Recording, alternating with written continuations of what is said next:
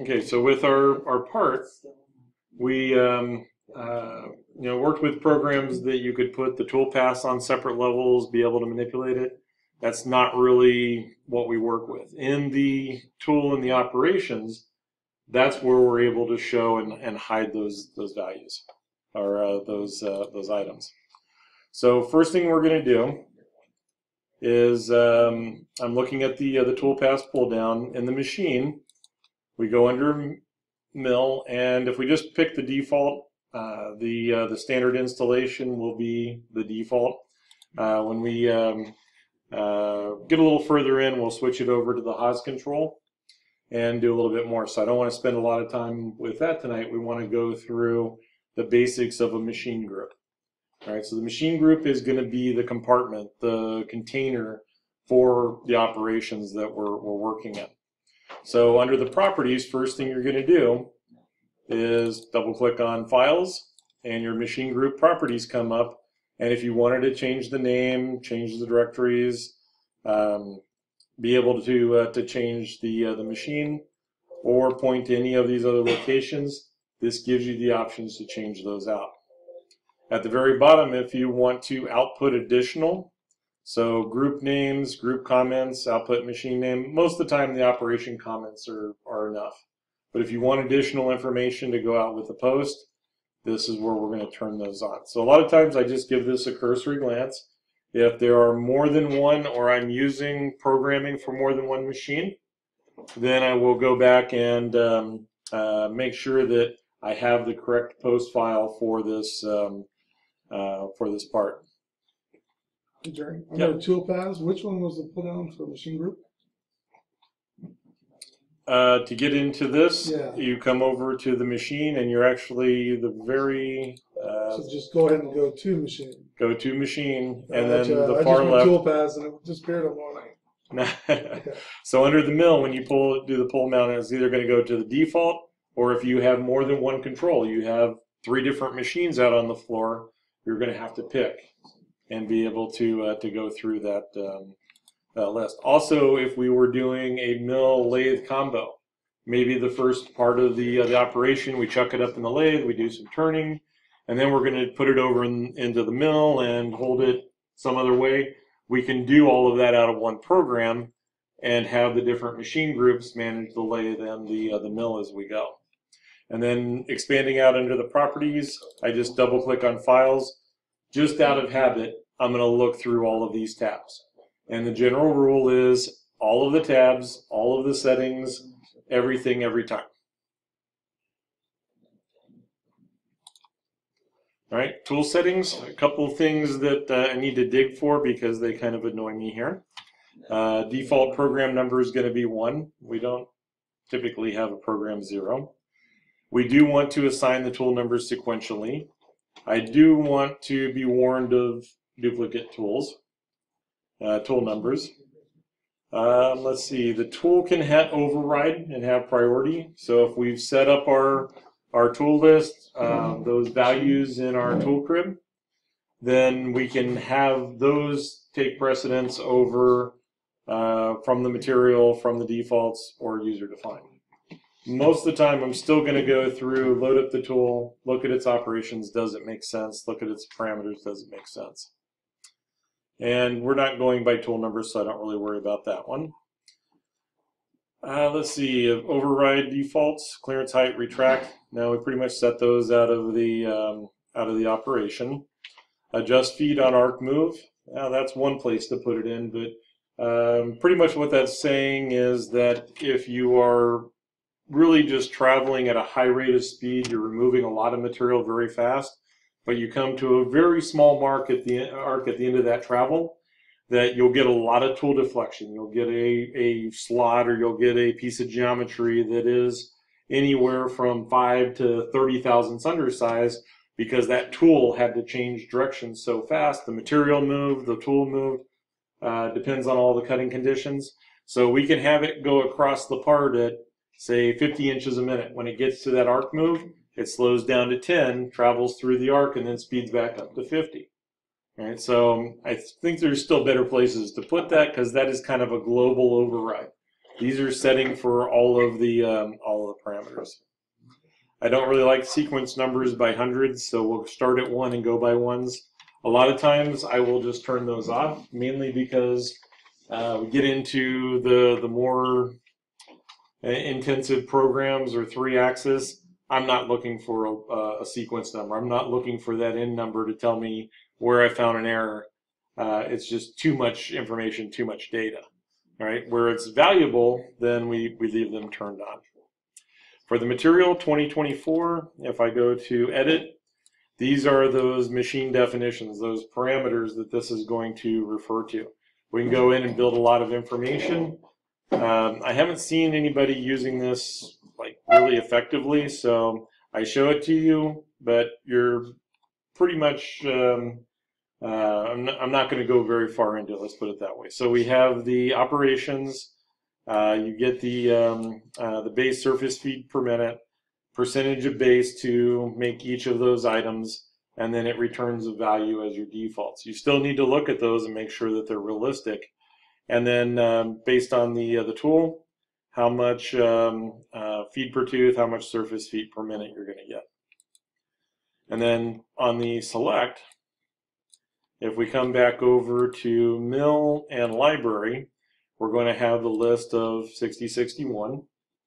Uh, if we're going over to the uh, the steels, we have 1010, 1030, which are going to be pretty close to the range of 1018, 1020 hot rolled, cold rolled steels. Um, basic plastics, you know, the titaniums, the woods. All right, so I want to stay with the uh, the 6061, and most of the time this is a reminder. If I do set it against the material, then I'm building in a little bit more into that database. But a lot of times I'm just I'm content to get numbers that are close and make adjustments as I go. All right, the all-important stock setup. And this one is always kind of uh, kind of weird when you look at the picture and think about what it's telling you. Is that our x and y dimension is two and a half by two and a half. These values are always positive. The z distance, and I lost my uh, my screen over here, is one inch. All right. And then what we're having to do with the stock origin is by default, it's going to be uh, we're not going to be right on the, uh, the center. It's going to move and shift this over. So I need to take half of this value, 1.25, and minus 1.25 to define, to shift from this center point up to the, um, to the actual origin. All right, so it, it's calculating based on that information. When we get a little further along, uh, we'll use the, uh, the select corners, the bounding box, the solids, we'll utilize those, but you got to have a pretty good handle of what's going on here to bring up those values. All right, so when I rotate this over, oh, I'm not showing the stock. Uh, so let's see, toolpath, transform, maybe it was on, on view. Oh, I have to find, oh, it was back on that screen. Let's, let's display it. All right, so display, uh, we're looking at the wireframe. You can turn it over to solids. Solids get a little um, little busy. We go ahead and hit OK. I can verify that those red dash lines are taking up the uh, the solid. So let's go back real quick, and I'm going to set my X to zero and my Y to zero. And Go ahead and hit OK. Notice the shift. It's trying to put the center of my stock at the origin. All right. So all I'm doing is telling it to shift over by half my um, uh, half my width, half my height. So I need to position this 1.25 minus 1.25 is what's telling that stock. So one of the things that it used to do that I'm not sure if it still do, does, but if you don't put anything in the stock, when you go to post this, it will ask you all these questions every single time. It's amazingly how amazing how annoying it can be to have to enter those values every time you go to post the code. Take the time to build up your stocks and set up and uh, uh, get those values to where they are, are working. All right, um, so we are we're in the top plane, and I need to hit Alt and one. So that takes me back to my front view or my top my top view. Alt and two goes to the front. Alt and three goes to the back, four, bottom, Alt five, right side, Alt six, the left side, Alt seven, isometric. All right, so I wanted to be in that top, Alt one. And so if I, with the, uh, the middle mouse button being set to rotate, if I rotate it around or I have a 3D mouse and it's set to rotate, I'm out of position again. Then Alt 1 on the keyboard is going to be my fastest method to get it back in there. All right, so just notice that um, I did not draw the, uh, the chamfers on these, so I'm going to jump back into levels, go back to my original object, and make sure that it's current, and then I will kick those off. All right, so that whole, um, they are not dependent on each other. We have a lot of independent objects. You have to be aware of their condition, what, what you're telling it to do, so that you're not picking, you know, making selections uh, based on faulty information. So again, these were, uh, you know, the object two was pretty much just an example. But if I wanted something in there to uh, act as a, another orientation or fit into those geometries, I could put those on different levels to, to manage them. All right, so once we have the, um, the property set up, then we're going to have a toolpath group. And that toolpath group is now a subcontainer where we're going to put all the operations. So uh, last week we set up the tool crib. I don't have the tool crib, so I'm going to do the alternate. If you have your tool crib from uh, from last week, or you go through and you set one up, I want to recommend you use it and stay with with those tools. They're going to give you better values and better consistency. Uh, since I haven't set one up, then this is again the alternate where we go through as a process as we're creating the operations. I'm adding tools, I'm reusing those tools, and I'm going um, basically uh, setting it up as I go. All right, so again, I am a um, uh, more of a right mouse button. Everything that is on the right mouse button is also up on the ribbon bar. All right, so if you are more comfortable coming up and picking a contour, a face, a pocket, then going to the mill toolpath and telling it a contour, a face, a pocket, wherever it went, it's down there somewhere right there, or go to a pocket, then pick whichever one you're you're more comfortable with working working in. All right, so with the um, uh, the introductory information, one of the things that um, we're working up to is the MOT, or machine operations and tooling. Out of habit, there are there's going to be that that cookbook, those recipes that we'll work into. As a general rule, we face. We establish our Z level, and then we then we contour, run around the perimeter, uh, bring the part to size. If I have oddball cut stock and I can't get it to thickness and I can't get it to clean up all the way around, I can reject that part right away. I don't have to do all the rest of the operations. I don't have to build anything else into it. We go to the next part. The other thing that we're considering here is at this point, my zero zero is right there on the origin. So at the control, I'm telling this to move over 50 thousandths and down 50 thousandths to accommodate for the material. So if we're starting off with what is the material size, three inch by three inch, to look, you know, we saw cut it out of plate, and it's um, two and five eighths by two and five eighths. We have to take that into consideration. Right. So if I'm not sure about what the material is going to be, then I'm going to leave this at the origin and let it be driven at the control. But if I know that I'm getting two and three quarter inch material uh, bar stock that is one inch, if it's one inch thick, we got a problem cutting it to one inch in the vise. Right, gonna have to do a little clamping or something else. Um, so I'm probably getting one and a quarter inch material to have that sacrificial oversize to, even though I have to flip it over and, and sacrifice that bottom material, it's still gonna be faster in the long run in a production environment. So that brings us to how many. If we're making one, I, I can probably knock this out on a on a manual about as fast as I can program set it up. I'd have a real real hard time unless there's not a manual in the shop, which uh, does happen. If um, uh, we need to make uh, 10 of these, I'm going to be a little bit more efficient.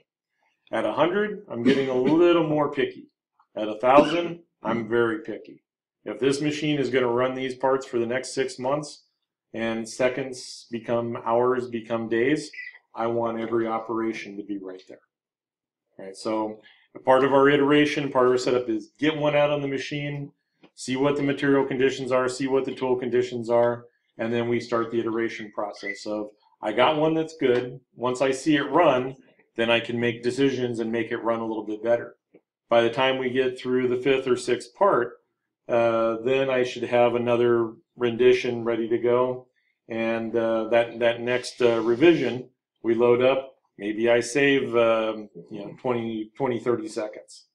And on the, that thousand piece order, I'm going to start looking for seconds after uh, after too long. All right, so we get it the cycle times to we're able to to uh, get the good parts, the, the tolerance parts, and good uh, tool life, and then we go from there. All right, so that facing operation establishes the top. Are we going to take the time to do tool changes? Right, if it's a um, uh, a cycle that I am looking for 30 seconds, maybe I change to the three inch fly cutter and fly across the top of the part. If it's one of those, eh, I really don't want to do another tool change, I'll, I'll do the same half inch tool and zigzag across the face of the part. Depending on the rigidity of the machine, um, how much um, you know, the how much the machine's been used, the wear on the machine, because we're lo loading and unloading those ball screws, uh, going left to right and right to left, we can end up with a little bit of a wave across that top surface. If that's a concern, then I need to pick a different tool. So we have all of these little decisions that we're going to make as we go through, and they're going to refine as um, uh, as we go in. So I'm going to do this as the we're going to take this out to the TM and run it, and after uh, we go to the lab, that was the part we ran last time, and probably part we'll try again. So I have that for uh, for reference. I actually ended up making these quarter 20 tap tools so that we could look at the uh, the difference, and that'll come up with the, uh, the tapping routines between rigid tapping and floating tapping. So this was the floating tapping since the uh, machines aren't set up with rigid. All right, so made a few decisions. We're going to face. And so mill tools, pick the facing, and then we start looking at the operation. So the pop-up, pay attention to these because it will save us some time. Select OK to use user-defined stock. We already defined that stock. It knows where the boundaries are for that limit. I can go ahead and hit OK, and it puts me right into the facing. This is going to be the interface, our, our manager for all of the 2D toolpaths and most of the 3D toolpaths. Uh, how did you get into that? I'm sorry. Okay, so One step. um, no, keep that one. So you can either come up to face on the ribbon or right click, mill toolpaths and face. Once we're into that group, that's where it's going to ask you for the OK. And then we're into the, uh, the group. So toolpath type, we can switch between facing the contour to pocket. And the chain geometry, I, I'll point this one out. We don't really need to do anything with the face, but chain geometry is my preference when we get to the contours. I don't like guessing. I don't like the way that um, under the cut parameters we can go from climb to conventional. That doesn't give me good information or doesn't give me my information. All right, so the tool is defaulted to a two inch face mill. If I want to select the library tool, said we're going to pick a um, one inch or a, uh, a half inch. I will filter and we're going to go to none so that I can switch to a standard end mill. And then whatever we have for size, make sure the filter is active and I'm looking for half inch. All right, so for most uh, convenience, because of the price, the crossover, the quality of carbide, uh, you can get uh, you know a, a, lot of productivity out of a half inch end mill and into a lot of this geometry decent size will cover most of the um, uh, the issues. So you know the fallback the default uh, tool really is the half inch flat end mill. All right so notice that it changed from two inch tool number went to one length offset diameter offset and uh, a head selection right so when we look at the uh, the router that one actually had had heads that you could select for which uh, which tools would engage and uh, values. If you um, if you pick a, a, different length offset, this is your T, T value, this is your H value, this is your D value. So unless you're overriding those and really doing it for a reason, all of these should be the same. Uh, we're going to look at speeds and feeds for the, uh, the lab tonight. Uh, so uh, feed rate, this is based on that calculation. So a half inch tool, we said we're doing 6061 aluminum carbide. What is the limitation of the machine? So if I set this at a 4000 RPM and hit tab, then the numbers update. So we have a sur first surface feed per minute of 5,000 or 523, and our feed per tooth right now is showing at 4 tenths. That's a little light. So six inches per minute, we'll go up to, let's just go to 12 as, a, as an intermediate starting point. Not quite a thousandth, we're still right there at finishing. But technically I want this facing operation to be kind of a nice finishing pass. So plunge rate, we'll do about the same since it um, can't really uh, get in too far, the rapid retract. And I don't do too much with the, uh, the holders. If you're doing something with clamps or you have uh, enough solid geometry to look at those um, uh, those interferences, those possible collisions, then use the holders. But uh, for the most part, I just go with the defaults and let it um, let it go. So we get to the cut parameters, and do I want to go one way? So it will travel across the part, lift up, go back, go one way, lift up, go back one way. Like I mentioned with the uh, the ball screw issue, if I have a machine that has a little wear on it, and um, changing direction puts that wave in, then I want to load those ball screws in the same direction on every pass. We can go um, zigzag, so it does the arcs at the end. That's probably the most efficient. If it is a large enough tool, it should have defaulted to one pass. So at two and a half inches uh, on the width of the part, if I selected a three inch face mill or a three inch fly cutter, it should just go all the way across the part, one pass.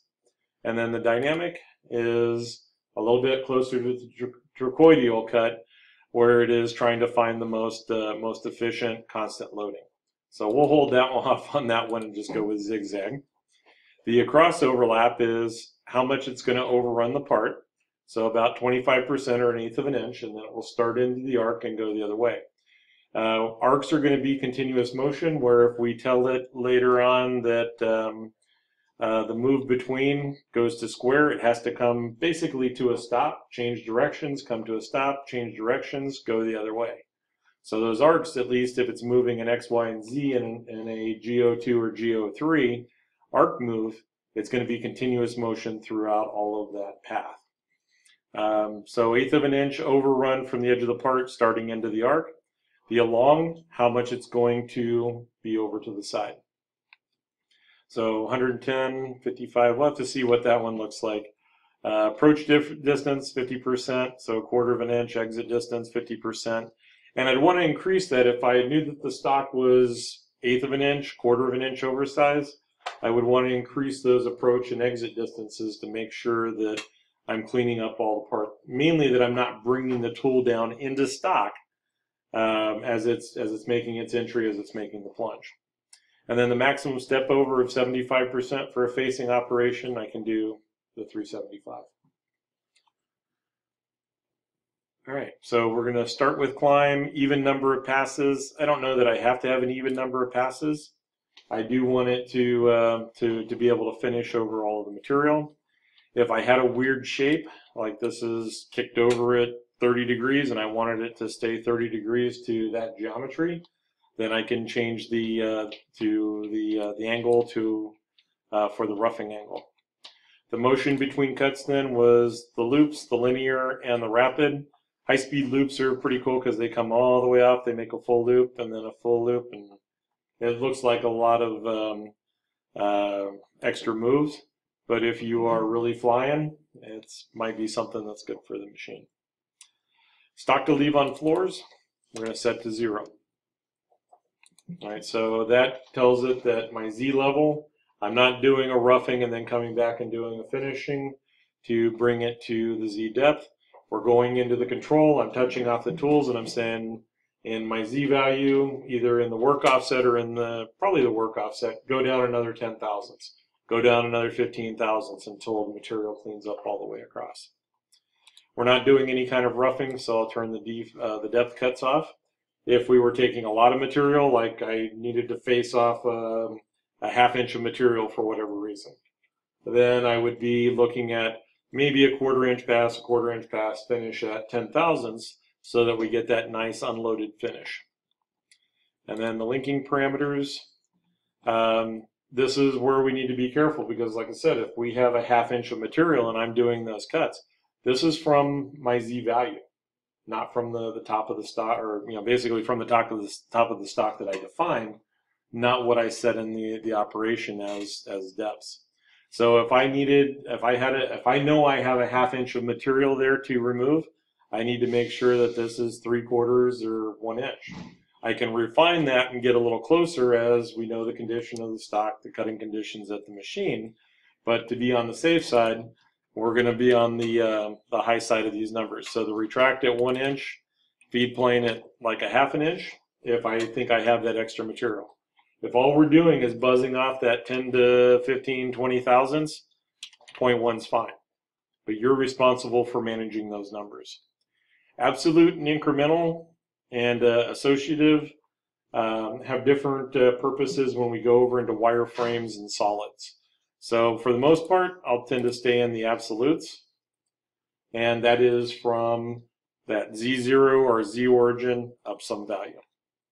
And then the um, top of stock is zero and the depth of cut is zero. So we establish that phase. And do you want to leave that depth of cut on absolute or incremental? Um, it shouldn't really matter, but yeah, I, I would say just make it a habit initially of doing absolute. If you get in the habit of doing absolute and then we go over to wireframe, we go over to where we have those multiple levels to pick from, um, and you're still in absolute, then you're making a conscious decision to go over to incremental or going over to associative. It's when it's just kind of set and wow, why did it go there? That was a surprise. We don't like surprises. We want we want it to go where we told it to go and and no guesses. All right, we can do that with absolutes and um, and then make those decisions later on. All right, so um, a home position if we have uh, or need a tool change position, we'll buzz through the uh, the filtering uh, planes if we need to adjust. Come down to coolant. Right now, flood, mist, and through tool are all turned off, and then you have other options based on the machine. All right, so um, can build in more axis rotary. I kind of after we go through the first ones, these aren't really used for standard two and a half axis, two axis, two and a half axis machining. So all I'm really doing after I finish the uh, linking parameters is jumping down to coolant, making sure. All right, so we have all those check marks, tool, cut parameters, linking parameters, and I can hit the, uh, the apply or the plus and stay in the operation, or we can go ahead and hit the check mark and accept it. So somewhere in there I managed to turn those off.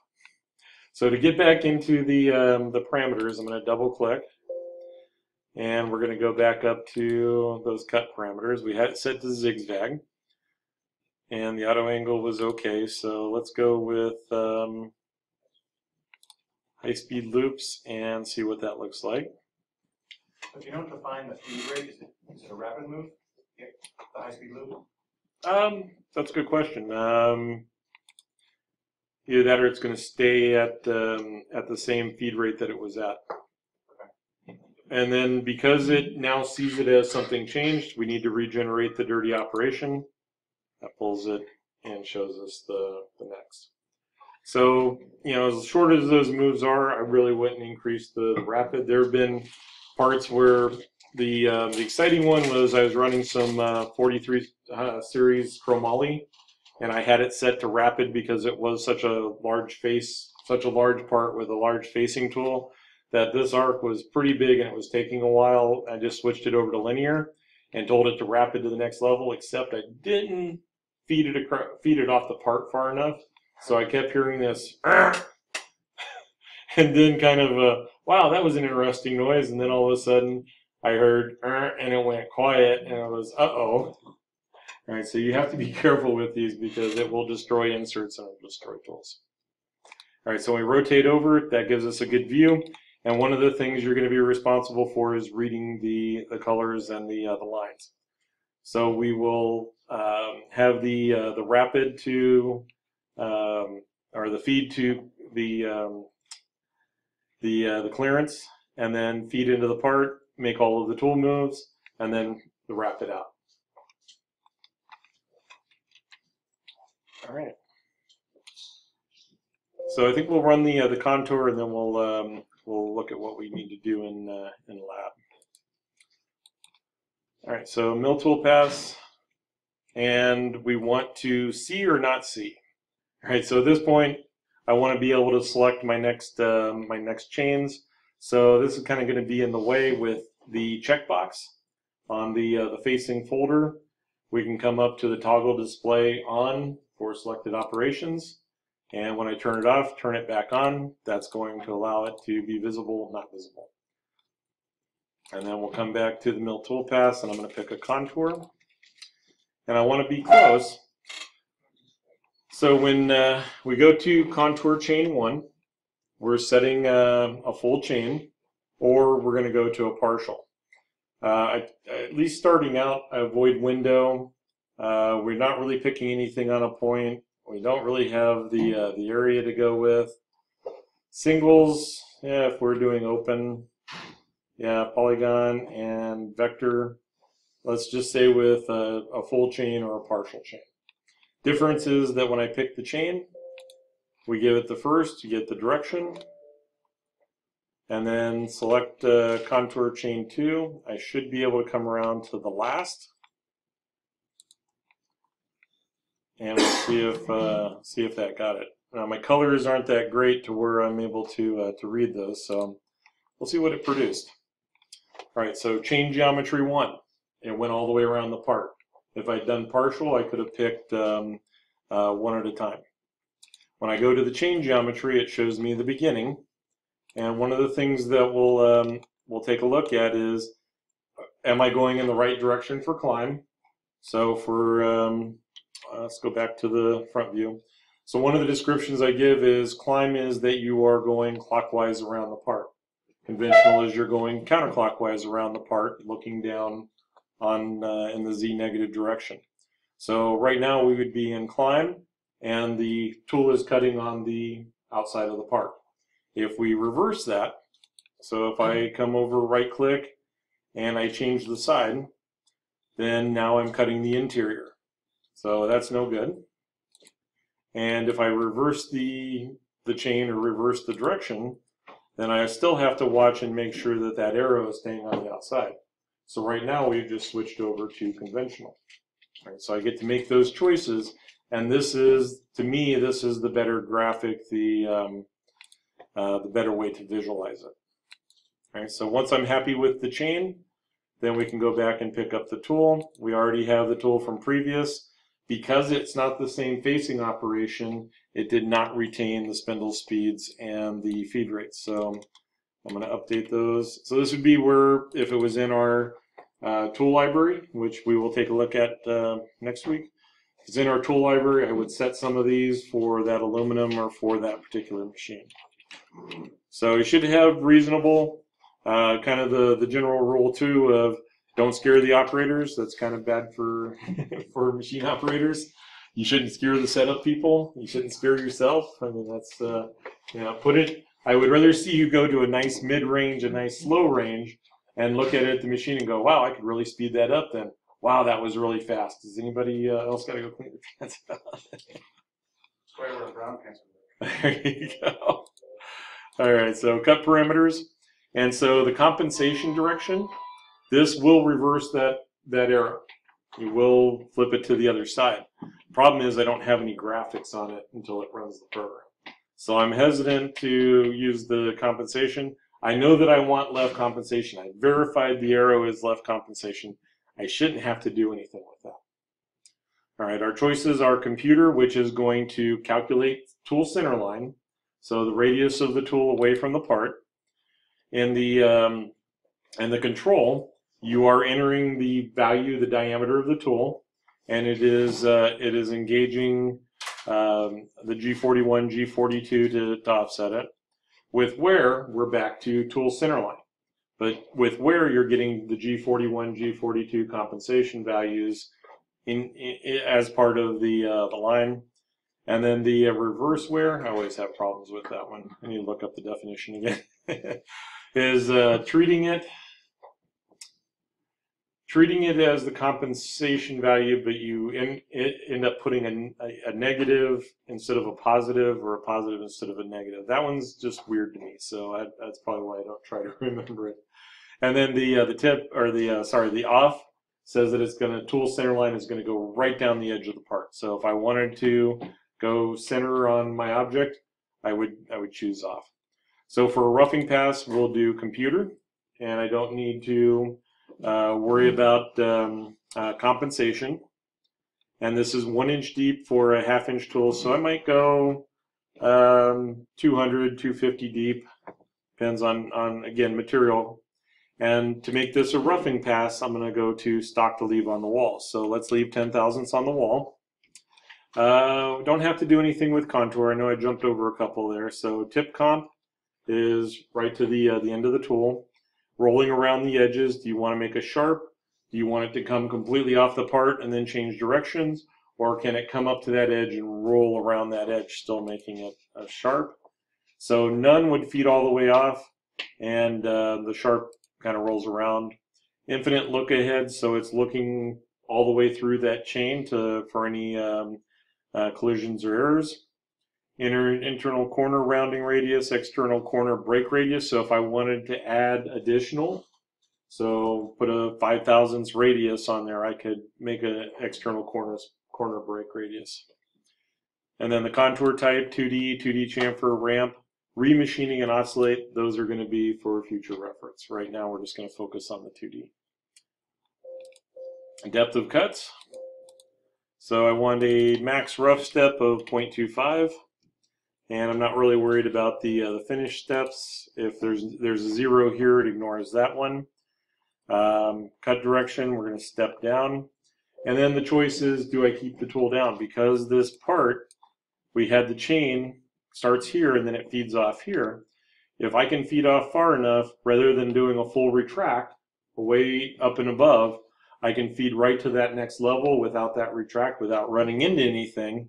I can keep it at that depth, move over, have it feed into the next next level, and then make the next pass, step, and, and repeat. So I do like to have the keep the tool down, but if you're not comfortable with it, have it fully retract, move to the next position, and then feed back into the part. So we'll take a look at what that does. Um, lead in, lead outs. So I do not want to start at the midpoint.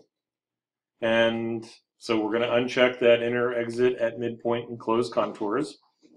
Um, we're not doing anything tangent. So really, I, I don't need the arcs here. So if I turn off the entry and exit, then I can jump down to the adjust start of contour and adjust end. And so the uh, we want to extend, and the first number is the percentage. So if I were to put 100%, that means half inch extend uh, extension for the uh, the start, half inch extension for the uh, the end. Well, I probably need that on the start because the the chamfer was 250, and the radius of the tool is 250, so that's still bringing it down pretty close. So maybe I'll go to 110 and see what that looks like.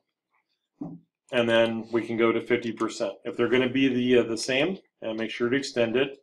If they're going to be the same, these little double arrows are going to take these values and push them over from the left to the right. Or if I set the values on the right, I can push them back to the left. Breakthrough amount, if we need to go a little bit past. So I'm going to give it another 10 thousandths because of that sacrificial material. I don't want it to cut right to depth and have that really sharp edge. So as long as I'm setting up high enough with the sacrificial material, we can cut all the way around and then when I cut off the backside, I'm not cutting right to that, um, that last little bit. Multi-passes are stepping in where the depth cuts are stepping down. So if I had a, uh, a large boss right in the middle of my, my plate that I was having to remove an inch of material all the way around, then I would do the multi-passes to remove that material stepping in. And then there's different levels of engagement.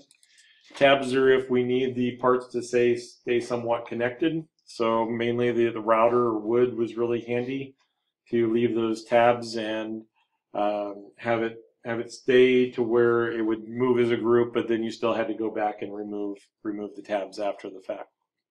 Finally, we get to the depths. All right, so the 0.25 for the uh, the retract. I'm going to go ahead and switch all those to absolute.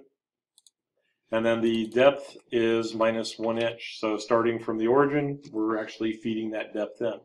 Where the incremental and the associative come in is if I have wireframe geometry or solid geometry that is set to one inch, then I can come over here and I can pick that geometry and incremental will work just fine. But that's a little confusing. Again, it's a lot confusing. and then we have to kind of work into into that same mix. And then last one we'll check is coolant. All right, I see an operation. My stay down doesn't look like it's hitting anything over here or not anything that I don't want it to. So I'm okay with that. And then the finish pass becomes a copy. And let's see, I've gotten used to, nope, we're just going to copy and then come back and paste. And now I have all of those same settings with a, with a few extras. So double clicking on the parameters puts me back into the um, into the into the tool, into the cut. So we will switch it to where. That's going to engage my G41, G42 compensation. We don't need the depth cuts for a finish pass. The lead in, lead out was fine. Breakthrough is still okay. Linking parameters didn't change. All I'm doing is taking off the things that I don't need. I go ahead and accept it. And the one that I missed, The wall, leave on wall. you got it. The uh, cut parameters and then the stock to leave on wall goes back to zero so that we can see that little bit of shift. When we zoom up, or, oh, this one, um, so when you have the red X, you got to regenerate. All right, so now we see the, the multiple step and step and repeats, come down, take the finish pass. That gives us our contour. All right, so next time we will um, we'll pick up and uh, finish out the uh, the operations.